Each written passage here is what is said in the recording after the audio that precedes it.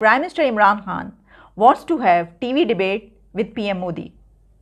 PM Imran offered PM Modi, let's have debate and resolve all conflicts and disagreements between two neighboring countries. वज़ीर अजम इमरान खान ने PM Modi को ये offer किया है कि चलिए टीवी डिबेट कर लेते हैं और एक टीवी डिबेट के थ्रू दोनों मुल्कों के बीच जो भी कॉन्फ्लिक्ट्स हैं जो भी डिसएग्रीमेंट्स हैं उनको रिजॉल्व किए लेते हैं उन्होंने पीएम मोदी को टीवी डिबेट की ऑफ़र एक इंटरव्यू में की।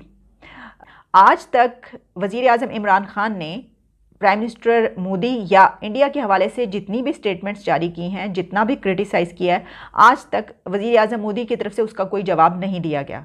कभी भी कोई जवाब नहीं आता। तो क्या वो वज़ी अजम इमरान खान की बात का जवाब देंगे?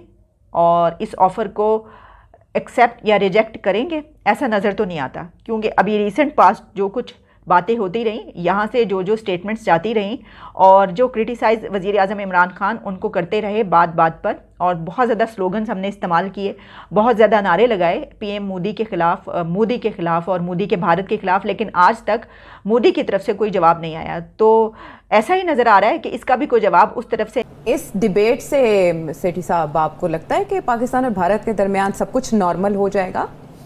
आयशा सवाल ही पैदा नहीं होता। ये डिबेट सत्तर साल तो हो गए हैं डिबेट चल रही है। पता नहीं कितने प्राइम मिनिस्टर्स एक दूसरे को मिले हैं कितने जर्नैल एक दूसरे को मिले हैं। तो ये भी मसला आपको हल होने वाला तो नहीं है। अब तो खैर और भी मुश्किल हो गया क्योंकि हिंदुस्तान ने उसका आइनी स्टेटस कश्मीर का तब्दील कर दिया जी। तो वो तो अब और खान साहब ने तो इसको अब पहले ये था कि रियासत के दरमियान इश्यूज़ थे। मगर ज़ात ज़ात इसमें नहीं आती थी। आ, किसी तरीके से एक दूसरे के प्राइम मिनिस्टर को ज़ाती तौर पे कोई नहीं अटैक करता था। जी जी। पॉलिसीज़ को अटैक किया जाता था। तो खान साहब ने तो नरेंद्र मोदी को ज़ाती तौर पे बहुत कुछ बहुत गालियाँ दी और इंटरनेशनल प्लेटफॉर्म से खड़े हुए जी small man in big office बड़ा कुछ कहा आयशा कुछ अब छोड़े हम तो रिपीट भी नहीं कर सकते। तो आपका क्या ख्याल है कि वो इसके साथ डिबेट करेगा?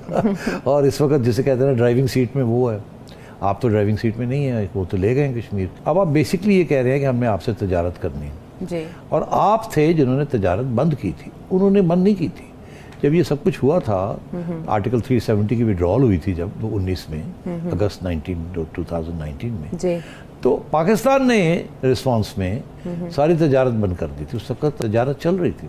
और आपको याद होगा अभी हाल ही में इमरान खान साहब को भी कहा गया था कि तजारत करें अब नॉर्मलाइज करें क्योंकि आर्मी चीफ ने एक बयान दिया था कि हम नॉर्मलाइजेशन चाहते हैं। हम जियो इकोनॉमिक्स की तरफ़ बढ़ना चाहते हैं जियो पॉलिटिक्स पुरानी बात हो गई है। नेशनल सिक्योरिटी में अब मीशत को स्ट्रॉन्ग करना है। और हिंदुस्तान से बहुत सी चीज़ें तजारत के ज़रिए सस्ती आ सकती हैं। जो कि चाइना से भी ज़्यादा सस्ती आती हैं ट्रांसपोर्ट बहुत कम है। और फौरी तौर पे आ जाती है। चाइना से आने में महीने दो लग जाते हैं। इंडिया में बटन दबाएँ वाघा से ठा करके अमृतसर से पंजाब से आ जाती है। जैसे माजी में होती चीनी आ जाती है गंदम आ जाती है जो सब्ज़ियाँ वगैरह। सब्ज़ियाँ वगैरह जो आपको ज़रूरत है जिसकी वजह से आवाम को बहुत नुकसान हो रहा है। कीमतें इतनी बढ़ गई हैं। तो अब इनको तकलीफ़ हो रही है अपने एक कदम उठाने से इनको तकलीफ़ हो रही है।